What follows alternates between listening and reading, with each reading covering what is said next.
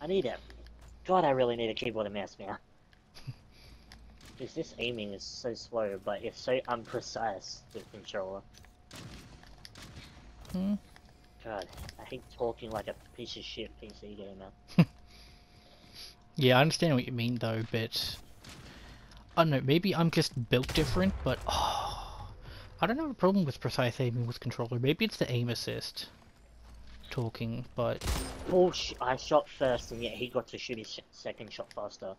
Alright. yeah, I think there's like always going to be a little bit of innate lag because of server. Collateral. I just got a collateral. Holy shit! No fucking way.